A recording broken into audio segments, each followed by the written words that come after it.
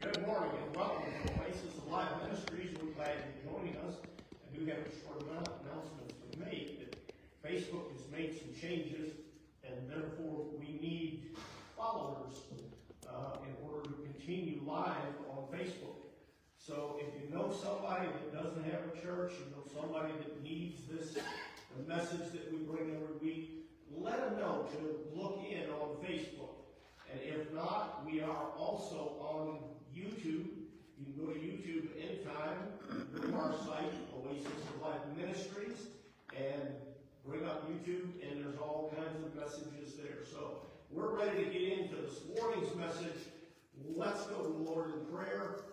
Heavenly Father, we just ask you and praise you this morning that right now the message comes forth in spirit and in truth, and that it comes forth with simplicity, that it's a, we're able to understand this message, and the anointing is on this message.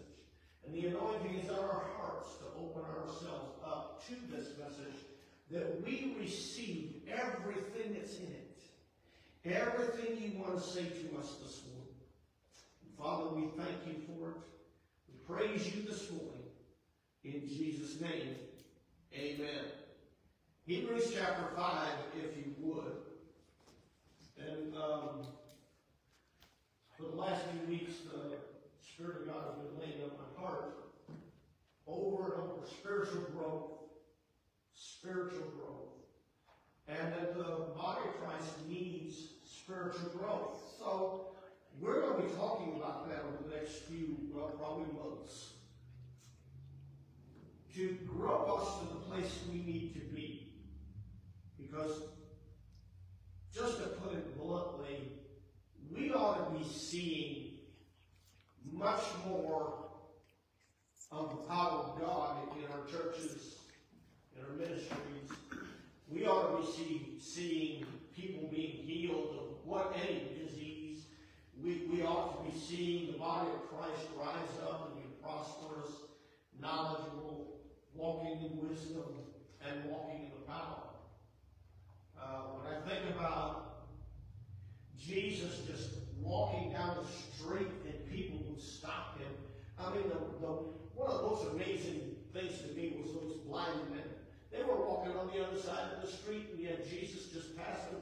They couldn't see him, but they stopped him because they knew there was a power there, and they got their, their eyesight. Peter.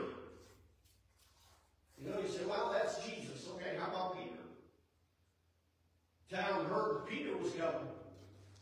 Oh, we got so many sick people in the city, he can't possibly take time to lay hands on them and do all that. We'll just line them up in the street and let Peter walk down the street and let the anointing that flows from him, even in his shadow, touch them and they'll be healed.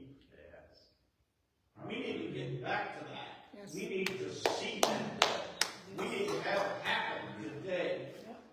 So, poke your neighbor and tell him you're about to grow up. You're about to grow up. I'm about to grow up. Yeah, there you go. Now poke yourself and say, I'm about to grow up. Hebrews chapter 5, verse 8. Though Jesus were a son, yet learned he obedience by the things which he suffered. Now that's the King James. And a lot of times we hear this, well, he learned obedience by what he suffered. I mean, he had to, you know, he had to go to the cross and he had to go to that whipping post and he had to go to hell. This is not what it's talking about. He's talking about his general, regular life here on this earth. And when we read these words, sometimes we've got to dig into them. And this word suffered here in this particular verse means by the things he experienced. Now, we have to stop and ask ourselves, what did Jesus experience when he walked this earth? Before he went into all of the punishment that he took for us and all of the cross and going to what did he experience? Well, he experienced prayer or fellowship with his heavenly Father. He experienced that a lot. Yes. Amen? What else did he experience? Well, he experienced his passion for his father and for the things that his father had for him. In other words, he had a passion for preaching and teaching people about God. He had a passion about seeing people get healed from their sicknesses and diseases. These are things he experienced. Well, he also experienced the anointing of the Holy Spirit within him. He experienced that. Remember when he went to the river with John? John was baptizing people. And Jesus came up and John looked at him and said, Wait a minute, I am not fit to even tie your shoes. And Jesus says, You are about to do what you need to do right here. You do your job. I'm paraphrasing, but you do your job, John, and don't be concerned about who or what you are doing this with. So John did baptized Jesus, Jesus came up out of that water, the Holy Spirit came in him. He was filled with the Holy Spirit and walked in the fullness of God's anointing. Why? Because he obeyed God by the things he experienced. He obeyed God by praying and talking and fellowshipping with Him. He obeyed God by preaching God's word, which means he had to study with God and know what God wanted for that time and that place. He, he had to walk from this place to that place and be where God was assigning him. He, he had to do all these things, and he did it all under the anointing of the Holy Spirit. And he had to obey when God said, you know, here, I want you to preach this message. He would preach for hours, folks. I'll try that over here. He would preach for hours. Yes, amen. Many hours. I had one fellow a while back tell me, I can't come to your church anymore. I said, what's wrong? He says, your services are too long. His services would start with sunup, and they would end when the sun went down.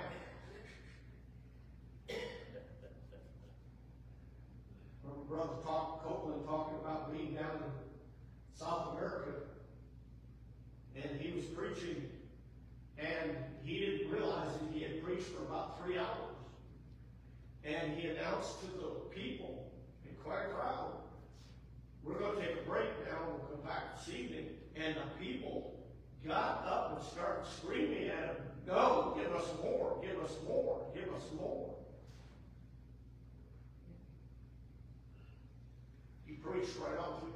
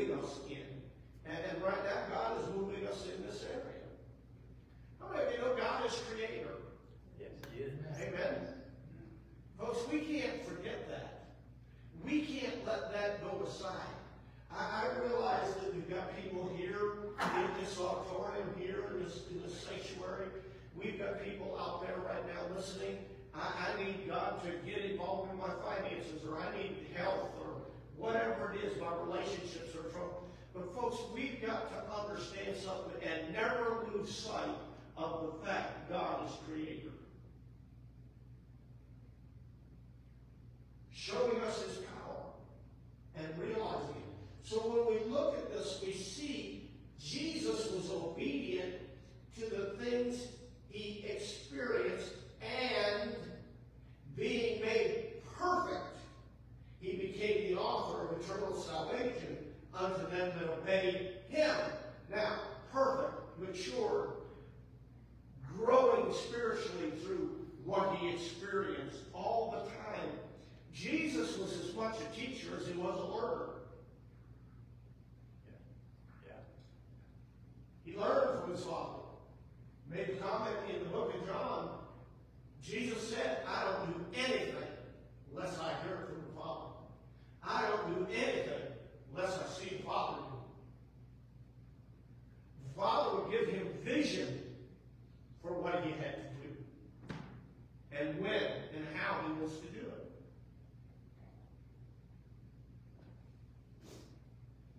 He was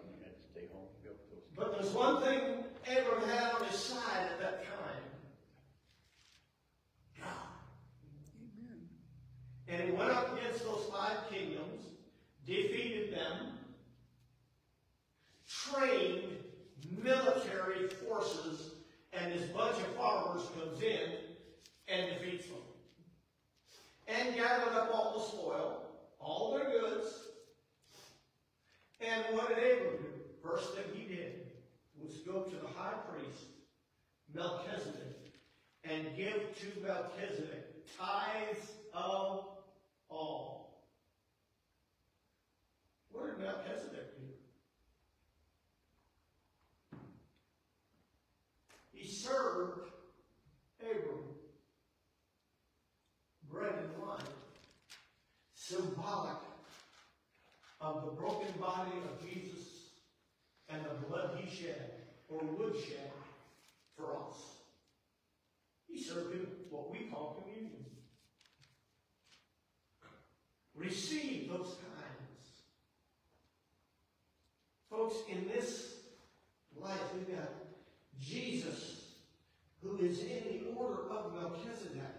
Every time we take, partake of what we call communion, we are honoring Jesus and the broken body that he had for us and the blood he shed for us to get us into a position where we could stand in the face of the devil and there isn't anything the devil can do about it. Right. We are more than conquerors through him who loves us. Who loves us? God the Father, Jesus, the Hope, and the, the Son, and the Holy Spirit. We've got a love interest. Amen. And they're with us.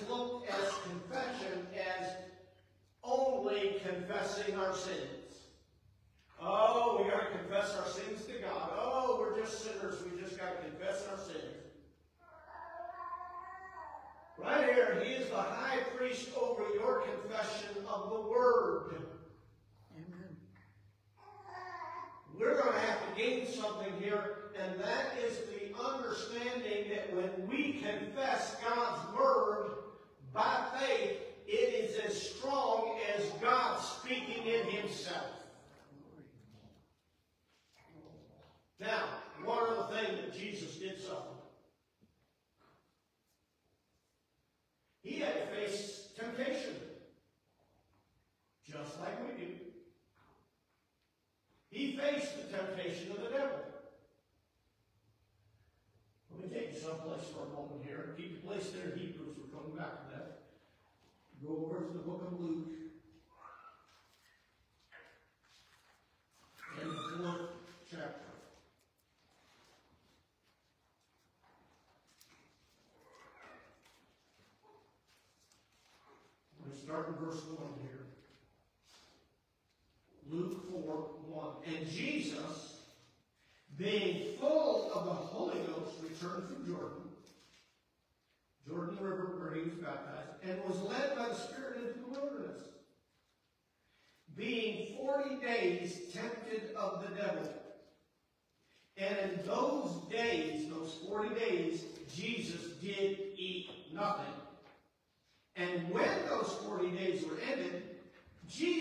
Jesus hungered.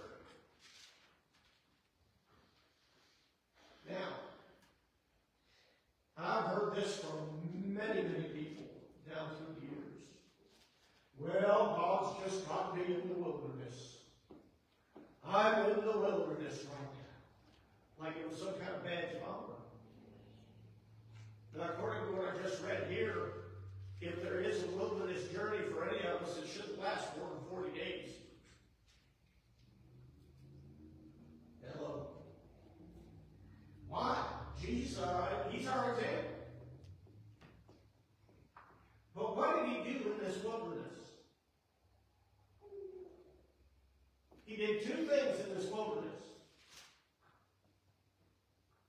He did exactly what James wrote about.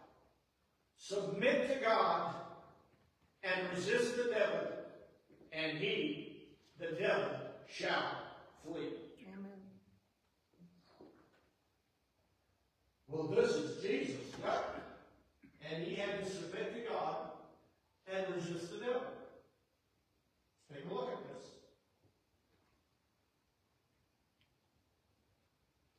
Jesus, get the, get the picture here. This is right at the end. I'm sure the devil did some other things, trying to get him to do things as he went along in that 40 days. But right here, this is at the end. Jesus is at his weakest point physically. He's starving, he's hungry. His body is screaming at me, at him, feed me, feed me. And here comes the devil with his biggest attack. And the devil said unto him, If you be the Son of God, command the stone that it be made bread. Now here's the point, folks. The devil knew Jesus could command a stone and make it bread. Come on. Amen. So the devil knew that. Jesus knew he could do it. But watch his response. And Jesus answered the devil, saying, It is written that man shall not live by bread alone, but by every word of God. What is that statement? It is Jesus' confession of faith. I don't have to do that. I don't have to make that stone into bread like you're saying. I can trust on God because He's the one going to feed me. Amen. He's the one going to take care of me. He's my provider. Yes, amen. Amen. Well, the devil, okay, he gets you to do that. Let me try something else. And the devil, taking him up into an high mountain, showed unto Jesus all the kingdoms of the world in a moment of time. And the devil said unto him, All this power will I give you, and the glory of that, these nations and everything in the earth. For that is delivered unto me to whomsoever I will give it to him. Now, how did the devil get all this? Adam. That'd be true. We go back to Genesis, which we're going to do, probably not today. If you got the outline, we're, we're not going to hit that outline more than just the introduction today. Adam bowed his knee and made Satan his God. And when he did, he relinquished the dominion God had given him to Satan. Let's look at a couple of scriptures.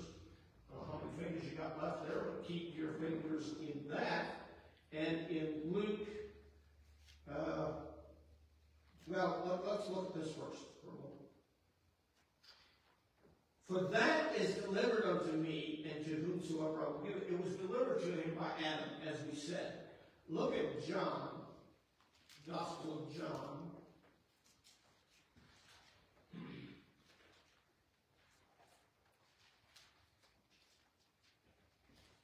Eight thirty-four.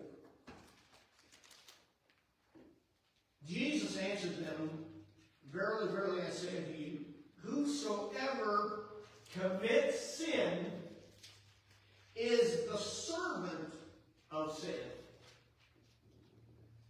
You commit sin, you're going to have to serve it. And remember, the law of sin and death. Let's not get to where Adam was. God had told him that he was to care for that garden and that if he sinned, he would die. Eve standing there with that fruit in her hand, and Adam standing right next to her. She's been told by the devil that God's lied to her. And that if she eats that fruit, she won't die. Now, Adam should have at that point taken that fruit from her hand and put it on the ground and stood between her and Satan and said, uh-uh, we believe God. Amen. But he didn't do that. He stood by and decided, I'm going to watch what happens to her when she eats that fruit. She takes a bite of the fruit, and from a physical standpoint, it didn't look like anything happened. She's still standing there. She seems okay. Adam determined, hmm, she didn't die. But yet she did. There was a spiritual aspect to this, folks, that began, and it began the death process physically. And Adam, right there, relinquished all of his dominion to Satan. He sinned, and now he's a servant to that sin. So now, God has to take Adam and Eve and move them out of that garden before they went and partook of anything more of that, that tree of life, because had they done that, they'd have lived forever in sin. Moving them out of the garden, and, and we sit here and say, well, you know, what happened to all of the earth? The garden is what God prepared for Adam. Everything Adam needed was in that garden. God expected Adam to take that garden and spread it across the rest of the earth. But when he was, Adam and Eve were expelled from the garden, they ran into what? Thorns, thistles, all kinds of just bad environment. Now he's serving his sin. Sin moves you out of the glory. It moves you out of the anointing and it moves you into a place where you are now serving all the problems that sin creates. Let's look at another word scripture. Go to Romans. Not only did Jesus write it, the book of Romans.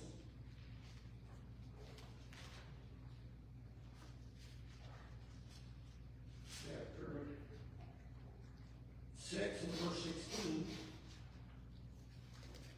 Know ye not that to whom you yield yourselves servants to obey, his servants you are to whom you obey, whether of sin unto death or of obedience unto righteousness.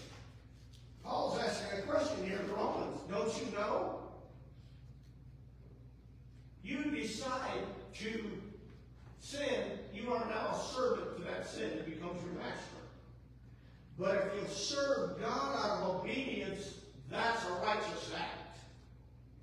Now you're walking in righteousness. Let me get one more scripture here out of Romans. Verse 23, for the wages of sin is death, but the gift of God is eternal life through Jesus Christ our Lord.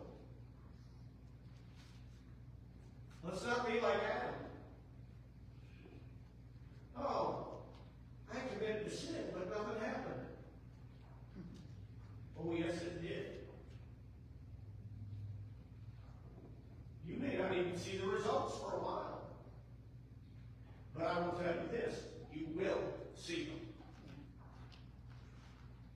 Had one of those telemarketers on the phone here a while back, and, and, and of course, he was doing his best to get my bank account information so he could steal money. And I asked him, I said, is your mother proud of you?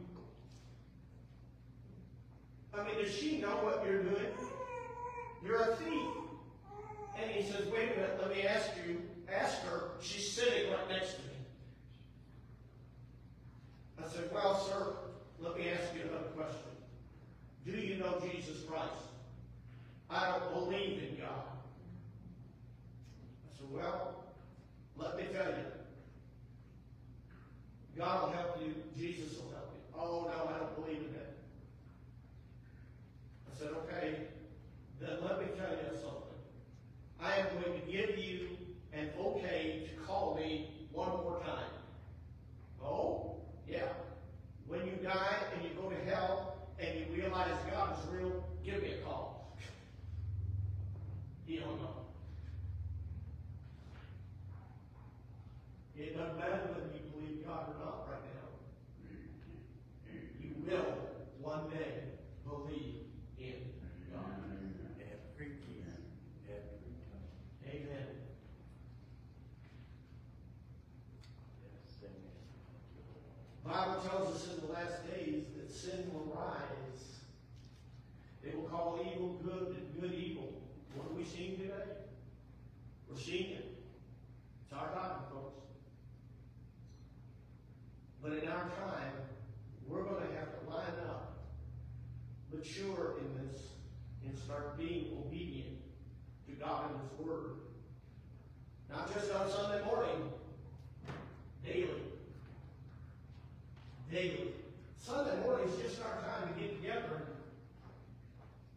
be together in a corporate setting to praise and worship God and hear what God has to say.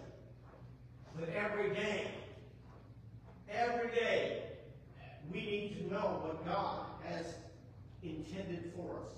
Let's go back to, uh, we in Mark, or uh, Luke chapter 4. Go back to Luke chapter 4 here.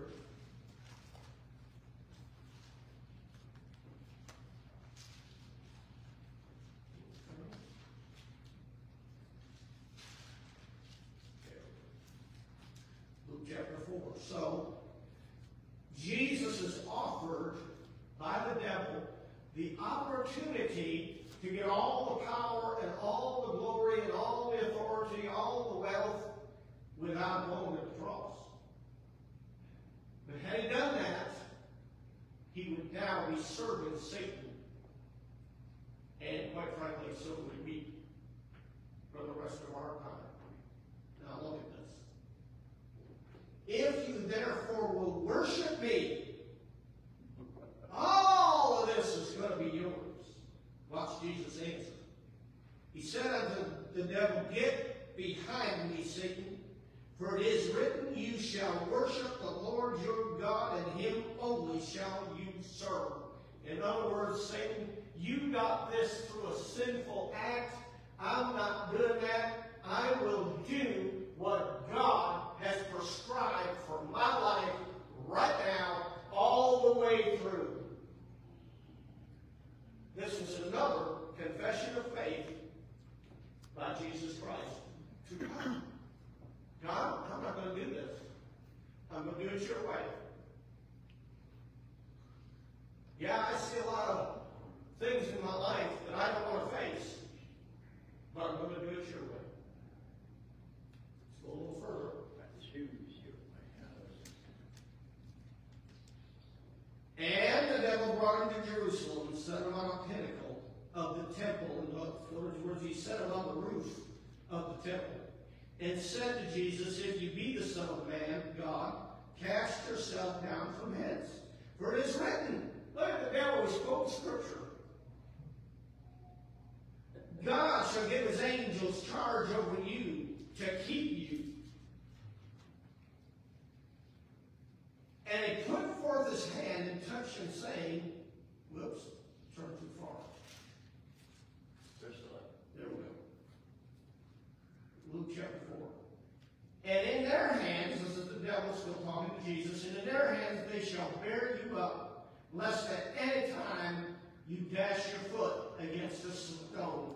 He is challenging Jesus to go ahead and prove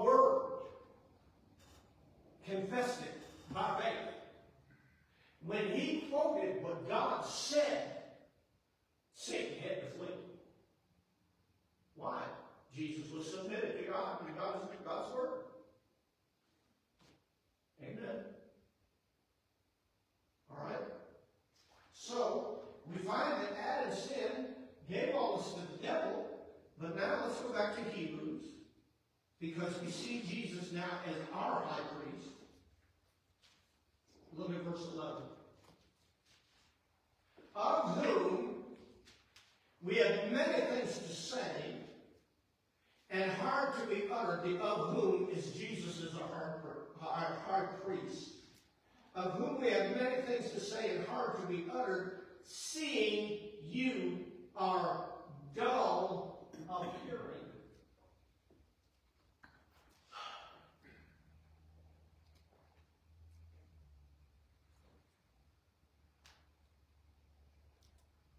When I read that, I start to think of something. How many people in the church today need hearing aids? I'm not talking about physical hearing aids, I'm talking about spiritual hearing aids. That's right. You know, sometimes some people, their, their hearing, their natural hearing goes south on them. They don't hear so well. They get hearing aids to help them hear better. We do have a hearing aid, folks. Yes. We do have a spiritual hearing aid that will help us to hear better when God's talking to us. That hearing aid is the Holy Spirit. And He's living in you already. Just turn His volume up more. Turn His volume. The song we just sang. I'm going to shout a little bit louder when these things come upon me. I'm going to sing a hallelujah and shout louder because my song, my melody is my weapon. Yes. Bible tells us to cast down our thoughts and imaginations that start to come against the most high word of God. How do we do that? One of the best ways to do that is to get yourself in a position like Paul and Silas when they were in the prison. They're in a dungeon, they're facing execution in the morning, they've been beaten, they've been stuck down there, they've been put in chains. They're in the worst place they could possibly be in. The sewer of the whole city ran through that dungeon. Rats and all kinds of just vile stuff. The smell itself had to be horrible. And Silas turns to Paul. What are we doing in this place? What are we going to do now? And what Paul say? About you. I will praise the Lord. Oh, I would think their song to start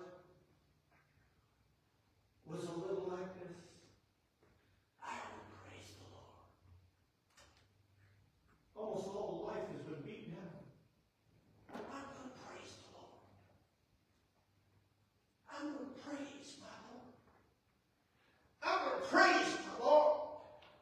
The two of them started, they built all of a sudden, I will praise the Lord. And the walls shook on the whole prison.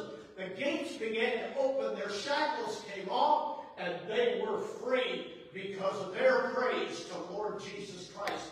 And the stripes he took on his back, and the death he took for our lives. Glory to God. They walked out. The prison guard. Wait a minute. Don't leave me behind. You leave me behind, I'm gonna be in those shackles you were in. What about God? Now wait a minute. That prison guard is the one that put them in those shackles in the first place. That prison guard put them in that dungeon. He may have even been the one that beat their backs. What did Jesus do? No, you deserve to go there. That's not what he did. He said, come with us. Come with us and be saved.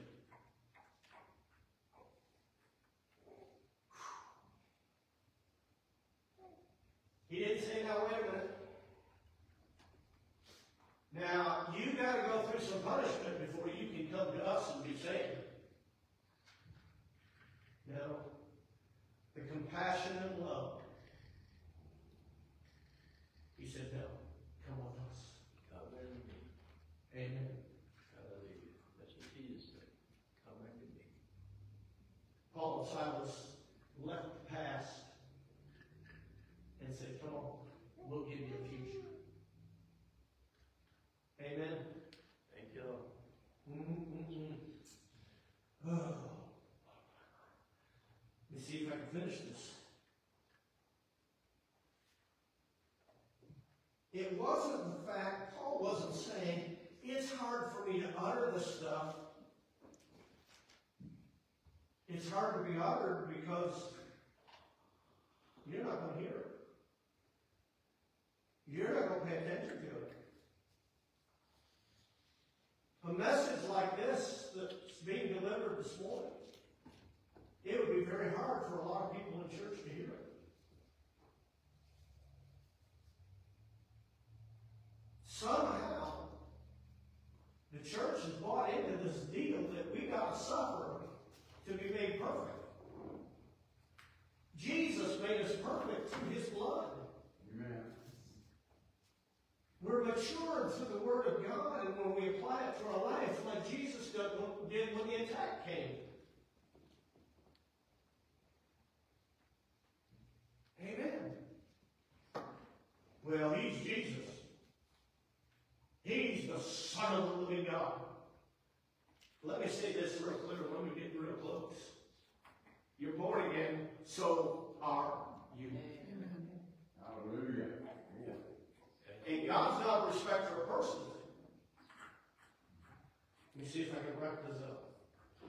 For when, for the time you ought to be teachers, you have need that will teach you again, which be the first principles of the oracles of God, and are become such as have need of milk and and not of strong meat. In other words, folks, we can't grow up, become spiritually sound just on the milk of the Word of God.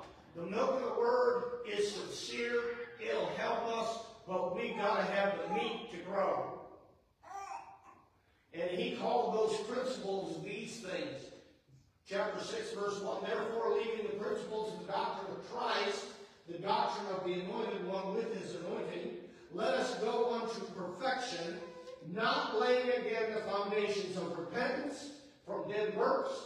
Faith toward God is a principle.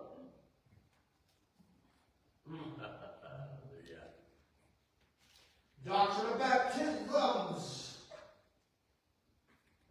laying on of hands, resurrection from the dead, and eternal judgment. We look at this verse, and this we will do if God permits. God's looking to permit the church to grow up and go further and be stronger and be what it should be. We ought to be Jesus Christ. Amen. I'll listen to you. Please do. As he is, so are we now in the All church. right? Now, verse 14. But strong meat belongs to them that are of full age, even those who by reason of use or by a habitual operation in have their senses exercised to discern both good and evil. And I'm going to tell you, when you say that's, that's the church, the church knows good from evil, I have to question at this point. When I hear people in the church saying that God is tempting me or using the devil to tempt me and test me, that is not discerning good from evil. James said it this way, don't you even say that God is tempting, testing, or trying you with evil. God doesn't have evil. How can he test you with something that's evil? Amen. The Bible says God is light in that same, in, in the book of John. God is light, and there is no darkness in him.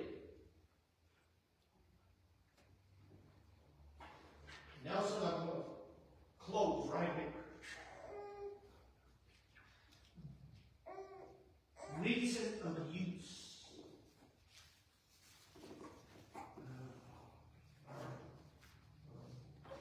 I'll give you a couple more scriptures here.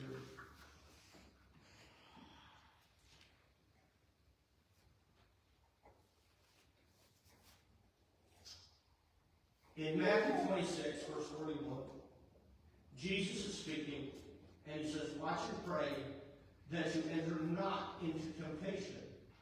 The spirit indeed is willing, but the flesh is weak. When it comes time to watch and pray, is your spirit going to take over, or is your flesh going to take over? We go one more place. Uh, Mark 14.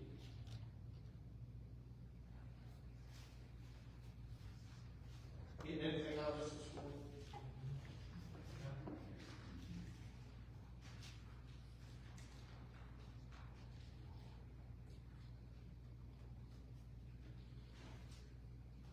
Mark 14, verse 38, Mark says the same thing. Watch ye and pray, lest ye enter into temptation. The spirit truly is ready, but the flesh is weak.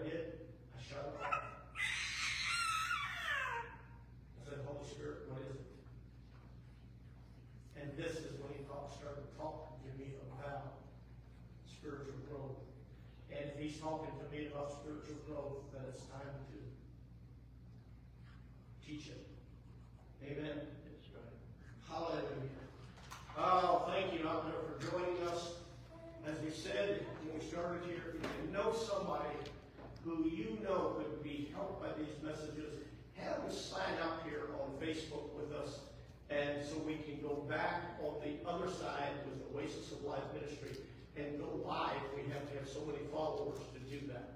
We love you. God bless you today. Nelson. some morning.